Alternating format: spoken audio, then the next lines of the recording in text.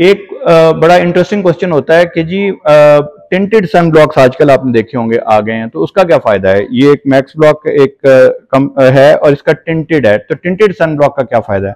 Tinted sun block का ये फ़ायदा है कि इसमें आपका जो बेस है या जिसको आप फाउंडेशन बोलते हैं, वो और सन ब्लॉक एक ही क्रीम में शामिल है। इसका फ़ायदा ये है कि ये आपको इसमें आयरन ऑक्सीड होता है जो आपको विजिबल लाइट से भी बचाता है। जो विजिबल लाइट है, वो होती है जो आम सूरज में, आम ये जो, ये रोशनी आपकी बल्बों की रोशनी है।